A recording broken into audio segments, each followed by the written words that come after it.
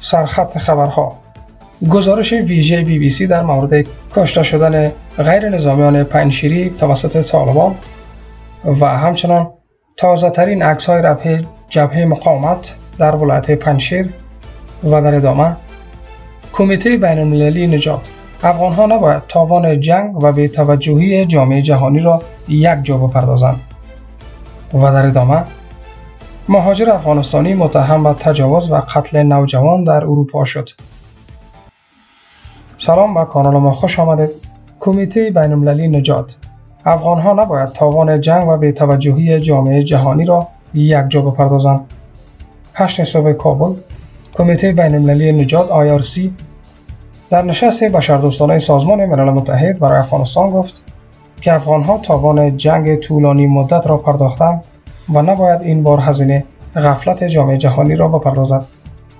دیوید میلیبن رئیس و مدیر کل عامل کمیته بین المللی نجات که همزمان با تمرکز جامعه جهانی روی خروج نزدیک به 40 میلیون شهروند افغان در آستانه بحران بشری قرار دارند و افزوده است که افغان ها بیش از این بحران های جنگ کرونا و تغییرات اقلیمی را تحمل کردهاند و این بار با توجه به ناآرامی ها اقتصاد سیستم صحی و خدمات اجتماعی کشور در شرایط نابسامان قرار گرفته است.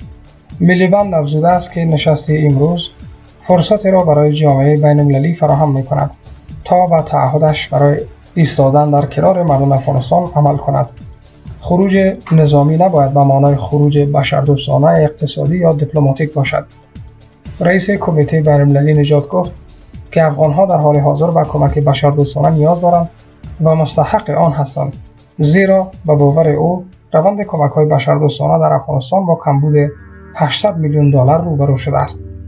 او گفت که همکنون 12 میلیون شهروند افغانستان به خدمات صحی فوری نیاز دارند و در کنار حضور 1.4 میلیون زن در مکانهای امن 1.2 میلیون کودک افغان در معرض خشونت استخدام گروه های مسلح کارهای شاقه ازدواج زود هنگام و رابطه جنسی برقرار گرفتند و حالا می‌پردازیم به گزارش بی بی سی که همه جهان را تکان داد. طالبان 20 غیر نظامی را در پنشیر و قتل رساندند. بی بی سی با نشر گزارش گفته است که طالبان دست کم 20 غیر نظامی را در دره پنشیر جایی که هنوز درگیری میان نیروهای طالبان و جبهه مقاومت ملی افغانستان ادامه دارد کشته شدند. در گزارش بی بی سی آمده است که با وجود قطع راه ارتباطی و خبررسانی این رسانه و شواهد دست یافته است که نشان می‌دهد طالبان برخلاف وعده خود دست به کشتار غیر نظامیان زدند به گزارش تصاویری که از جاده خاکی در پنشیر مردی را با لباس نظامی نشان می‌دهد که به محاصره نیروهای طالبان درآمده است. تیراندازی در می‌گیرد و این مرد به خاک میافتد.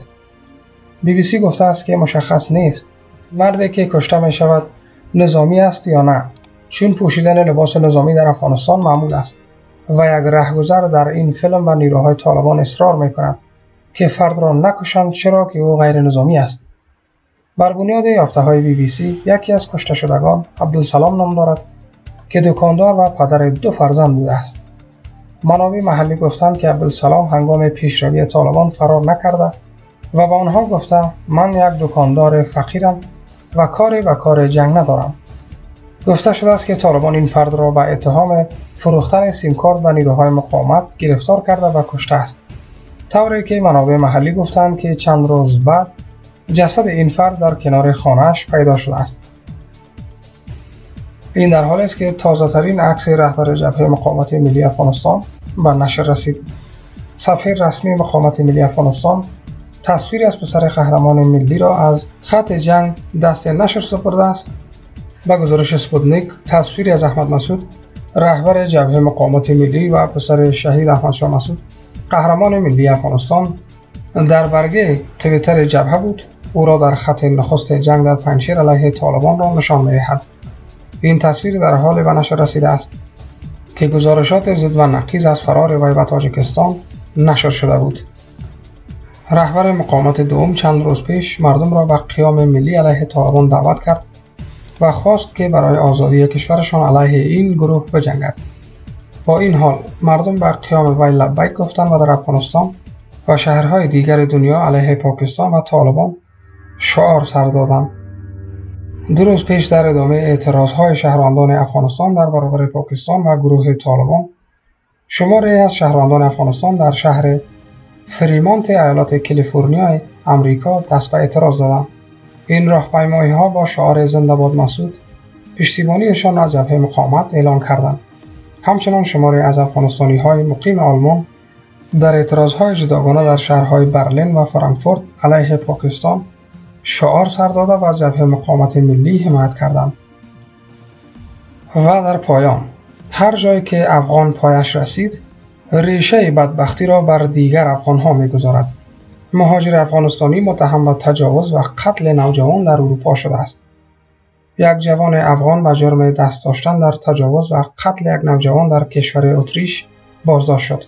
به گزارش سپوتنیک اسکای نیوز گزارش داده است که یک جوان افغان که در کشور انگلستان درخواست پناهندگی را داده بود به ظن دست داشتن در تجاوز و قتل دختر 13 ساله در اتریش گرفتار شد.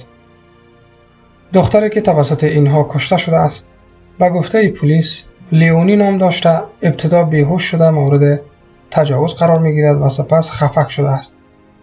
طبق گزارشات همه مجرمین از کشورهای آسیای میانه بوده است. جسد این دختر در یک فرش در تاریخ 26 جولای از وین پایتخت اتریش دریافت شده است. پلیس این مهاجر 22 ساله را پس از دو هفته ورود به انگلستان دستگیر و متهم کرد. این متهم 18 جولای در قایق به اروپا آمد و سپس در هتل در لندن مستقر شد. وی قبل از تماس پلیس اتریش با سازمان های اجرایی قانون بریتانیا در آنجا زندگی می کرد. مزنون با استرداد از انگلستان روبرو است سه افغان دیگر نیز در این پرونده دستگیر شدند و تحقیقات جریان دارد